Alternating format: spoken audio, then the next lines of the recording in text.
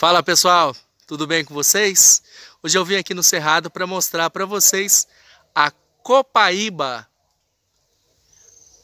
O meu nome é Halser Arruda, sejam todos muito bem-vindos. Pessoal, a Copaíba é uma árvore do Cerrado brasileiro, da Amazônia brasileira, da Mata Atlântica, da Caatinga, ou seja, nós temos ela em todo o Brasil, tá?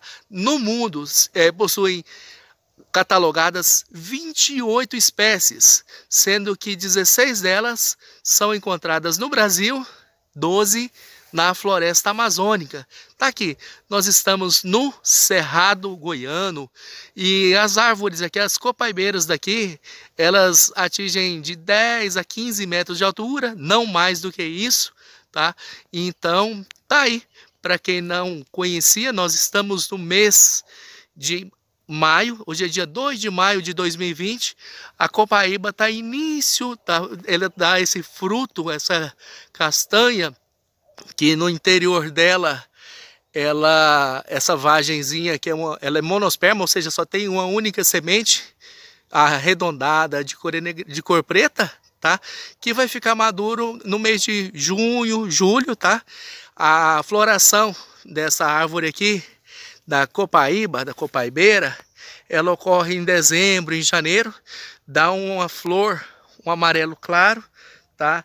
É, que tem umas, umas panículazinhas na porção final da antes da, da, de dar esse fruto, dar essa florzinha, tá? Então é, parece uns pelinhos amarel, amarelinhos, tá? um amarelo claro, tá? E essa árvore também é conhecida por pau d'óleo, a copaíba, pessoal, ela é, ela, o gênero copaí, copáifera possui, como eu disse anteriormente, 28 espécies. Então, se você na sua região tem uma copaíba que é semelhante com essa, deixa aí nos comentários, ela é semelhante, tá? É, essas folhas, você pode notar que as folhas elas são alternadas, né? Então, ela é, ela, a gente chama que ela fala que ela é, as folhas elas são paripinadas, certo pessoal? Então elas possuem em média 4 a 5 pares de folíolos, como vocês podem ver aí, ó, 4, 5 pares, em média, normalmente são 4 pares de folíolos, tá? E é, deixa eu mostrar aqui para vocês. Então tá aqui uma folha da copaíba, tá? Mostrar o verso dessas fo da folha. Olha, a parte superior. Então possui normalmente quatro a cinco pares de folíolos. E aqui o verso. Tá aí dessa joia do da flora brasileira, que é a copaíba, que é dela que se extrai aquele óleo, o óleo de copaíba, muito utilizado para fins medicinais. Tá ok, pessoal? Então tá aí, mais uma vez, as sementes da Copaíba. Se você é a primeira vez que está assistindo meu canal, já se inscreva no canal, pessoal. Dá um joinha aí, se inscreva no canal. A gente mora em Goiânia, então a gente sempre, todo final de semana, a gente vem aqui no Cerrado para mostrar essas curiosidades para vocês. Deixa eu mostrar o tronco aqui da Copaíba. Olha só a prova Alguém já veio aqui, provavelmente há uns três anos atrás, e retirou óleo, tá vendo? Essa é uma forma errada de fazer. Normalmente se faz com um trado, né? Com arco de pua, faz um furo, né? E retira-se o óleo, olha só, totalmente errado, uma forma totalmente errada, tá? Então, assim, é, é, o óleo dessa árvore é uma forma de sustentação de muitas, de muitas pessoas que vivem muitos silvicultores né, que vivem da floresta, tá? Esse óleo aí da, da copaíba, uso medicinal. Pessoal, quando a gente fala em uso medicinal, a indicação é sempre procurar um profissional da área, um fitoterapeuta, um médico que trabalha com plantas naturais, um naturalista, tá pessoal? Um médico que, que, que se dedica à, à fitoterapia. Olha aí, pessoal, muito legal tá? Então, assim, que que eu, vamos lá. É, a utilização do óleo dessa, dessa árvore aqui, da copaíba. A utilização dele é utilizado para quem tem queda de cabelo, para quem tem caspa, para quem tem espinhas, para quem tem aquele melasma, que são aquelas manchas de sol da pele, ou seja, ele ajuda a clarear o óleo, né? A utilização do óleo de copaíba ajuda a clarear a pele.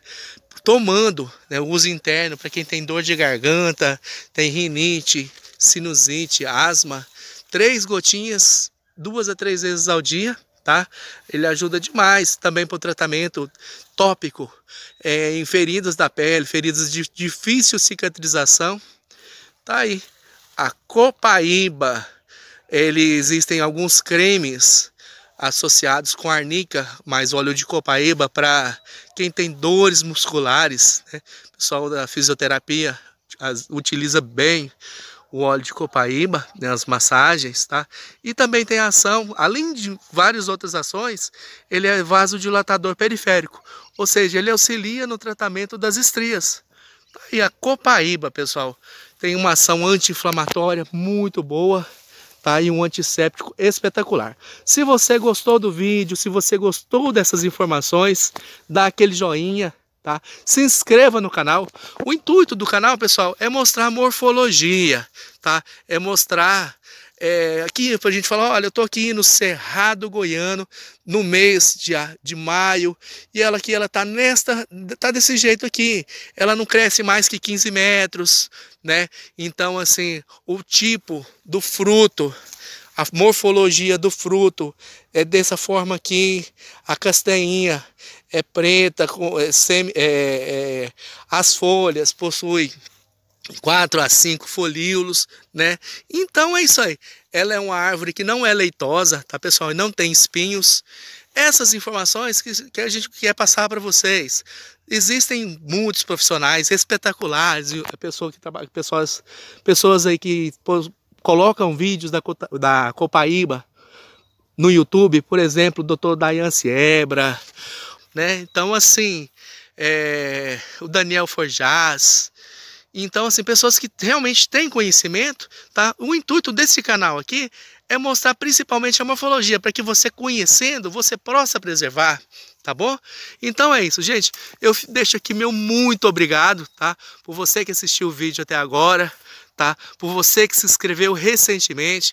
Inúmeras e inúmeras pessoas se inscreveram no canal recentemente, então fico muito, muito agradecido. É isso aí, gente. Tenham todos uma excelente semana e até a semana que vem com um novo vídeo, com uma nova curiosidade. Valeu, galera. Muito obrigado e até a próxima.